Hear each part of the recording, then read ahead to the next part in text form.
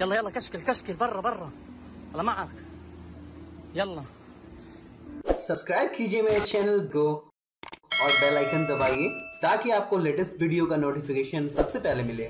معروف social media plate form فلسطین بک پر فلسطینیوں کے وادی الحوا انفارمیشن پیج پر جاری کردہ ویڈیو میں دیکھا جا سکتا ہے کہ اسرائیلی پولیس اہلکاروں کے حصار میں مچل اکسا آنے والے عمارتی وفد کو فلسطینی عوام کے احتجاج کے دباؤ کی وجہ سے مسجد اقسا سے نکلنا پڑا۔ جاری کردہ ویڈیو میں دیکھا جا سکتا ہے کہ فلسطینی شہری یو اے ای کے وفد سے اسرائیل کے ساتھ ہونے والے معاہدے کے بارے میں سوالات کر رہی ہے، انہیں مسجد اقسا سے نکلنے کا کہہ رہی ہے۔ امارتی فوت کا یہ دورہ امریکہ میں اسرائیل کے ساتھ پہلا بحرین یو اے ای مادے کے بعد ہوا ہے۔ فلسطینی حکومت پہلے ہی اس مادے کو مسترد کر چکی ہے۔ گزشتہ دنوں فلسطین کی ابینہ یہ سوال اٹھایا کہ بعض عرب ممالک کے وفود اب مسجد اقسا کیا آتے میں اسرائیل کے زیر انتظام حصے کی جانب سے آتے ہیں، جبکہ نمازیوں کو اس حصے میں داخل ہونے نہیں دیا جاتا۔ فلسطینی وزیر اعظم محمد شیتا کا کہنا ہے، جسے بھی مسجد اقسام میں داخل ہونا ہے، تو اس کی اصل